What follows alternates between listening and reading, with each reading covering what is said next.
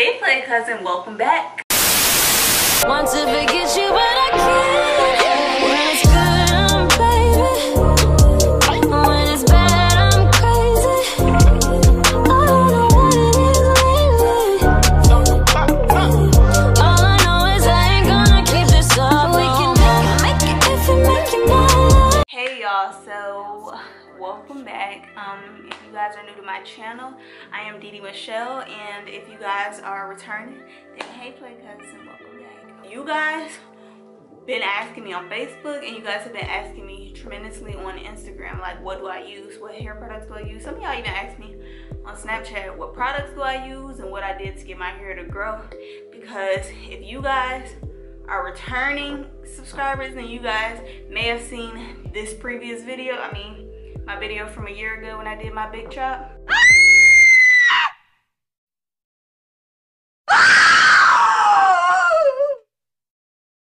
Yeah. So you guys are wondering how i got my hair to grow back to that same exact length um a year and two months later. First and foremost I normally don't like water and things like that, but I've been able to put my differences aside with not liking the, you know, the fact that water doesn't have any taste. So I drink a lots and lots and lots of water. Also, you guys have to be in mind that I was pregnant um, a short, a short time, like after I did that big chop. And so that could have something to do with it as well, which is hence another reason why I, why I am going through postpartum shedding. But I did, you know, I, have always taken prenatal pills, which I still take now, just because I'm breastfeeding. I'm gonna show you which ones I take now. And this is what it looks like.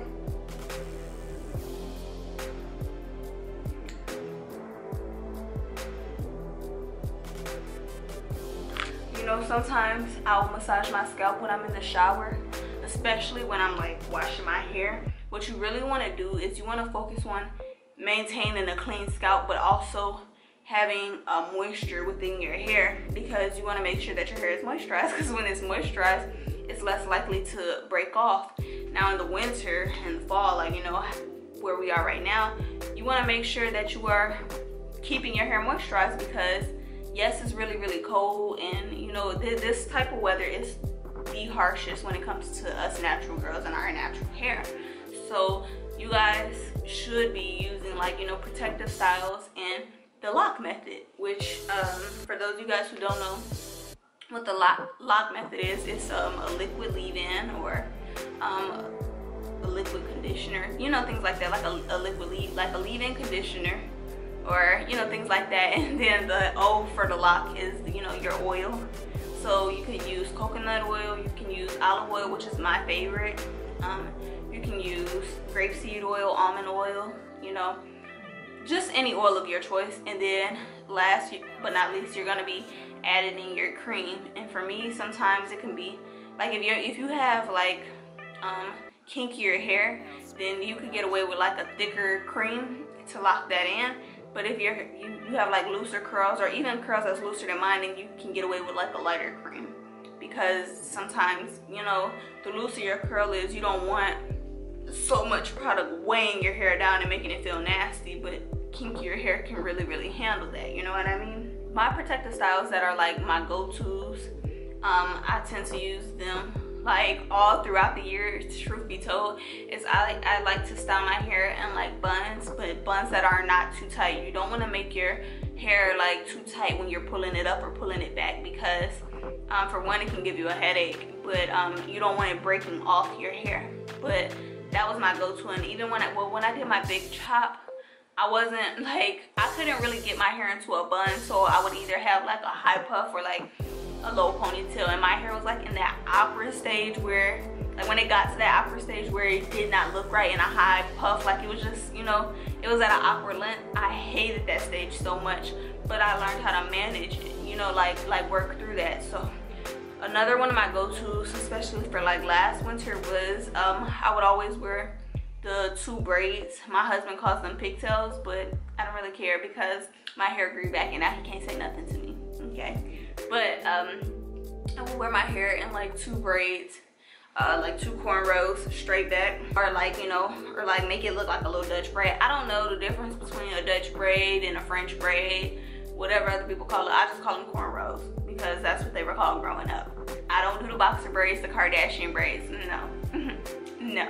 That's what I did. Um, another protective style um, that I did is twist outs. I actually recently learned how to master twist out. It was my first time doing it and I remember the products that I use so I have a video on that coming up as well. So be sure to stay tuned for that. You can do braid outs. Um, I have a video on like, it's like a braid out that I did back when my hair was shorter but I can possibly do another braid out for my hair as it's grown. Um, if you guys want to see that then just comment down in the comment section below. So I did do box braids, which I also have a tutorial down in the description box on how I did my box braids as well.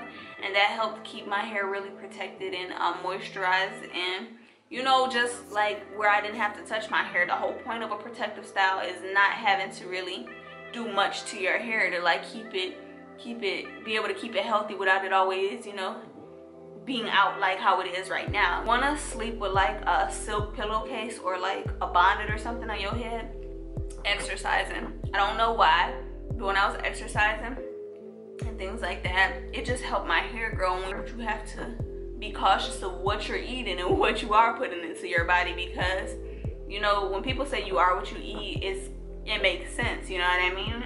I know there's a lot of women that message me on Instagram and they're like, you know, no matter what, they're like, even their pregnancies and things like that, their hair still doesn't grow and they feel like their hair has been the same length for years. And it, there, there are people that's like that. And sometimes it's because they either have a stylist that's like, oh, well, you have to get your hair cut every two weeks and things like that, but you really don't.